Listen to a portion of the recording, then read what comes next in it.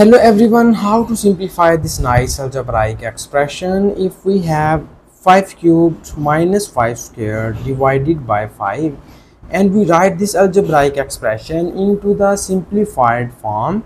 But here you remember one thing is that calculator is not allowed in this problem. This means that we need to show all of the working on this paper. So i hope so uh, you like this method. Uh, here in this question uh, I can just solve this problem for two methods. I hope so you like both of these methods. But if you have any other method in your mind so please don't hesitate to write this method into the comment section. And now here first we move towards our first method. Uh, and now here in the first method uh, we need uh, to break this fraction and we write this 5 separately on both of these values and it will be written as 5 cubed divided by 5 minus 5 squared divided by 5 so further in the next step we use here the nice exponent law. Uh, you know about that. If we have a to the power of m divided by a to the power of n it is equals to a to the power of m minus n. So here uh, you just focus on these two exponents and we move our smaller exponent towards the largest exponent. If you focus on here the exponent of this is 3 and exponent of this is 1 so that we move this 1 towards 3 and it will be written as in this form this will becomes 5 to the power of 3 minus 1 minus in the same pattern. Here you see that this is 5 square divided by 5 to the power of 1 and here we move this one towards 2 and it will be written as 5 to the power of 2 minus 1 and now here in the next step we have this is this will be written as 5 to the power of 3 minus 1 becomes 2 minus. From here we have 5 to the power of 2 minus 1 is equals to 1 and now you clearly see here this is 5 square and 5 square is equals to 25 minus this is 5 to the power of 1 is equals to 5 and finally we have the final simplified form of 5 cubed minus 5 square divided by 5 is equals to this is 25 minus 5 becomes here 20 so this is the final simplified form of the given question. And now this is the final answer which we get here from first method. And now here we again solve this problem for second method.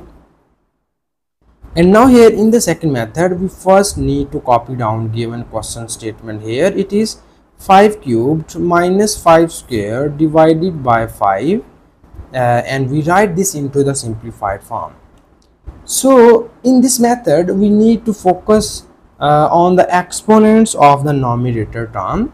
And we have here this is 5 cubed and we write it as 5 to the power of 2 plus 1 minus this is 5 square. We write it as 5 to the power of 1 plus 1 and it is divided by 5 and in the next step uh, here we uh, use another exponent law. You know that if we have a to the power of m plus n is equals to a to the power of m multiplied by a to the power of n.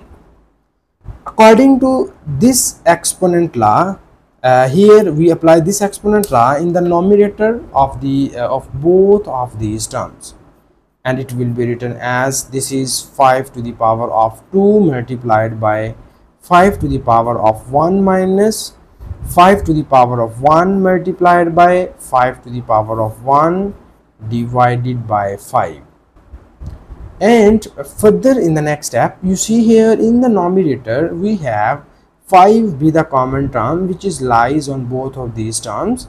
So when we will take common 5 from here we will get 5 square minus. When we will take common 5 from here we will get 5 only and it is divided by 5 and now you see here this 5 is cancelled out by this 5 and we will get here in the uh, numerator we have 5 square minus 5 so uh, in the final step we get the required simplified form of 5 cubed minus 5 square divided by 5 is equals to here you see that this is 5 square and 5 square is equals to 25 this is minus 5 when we subtract these two values we get 25 minus 5 becomes here 20 so this is the our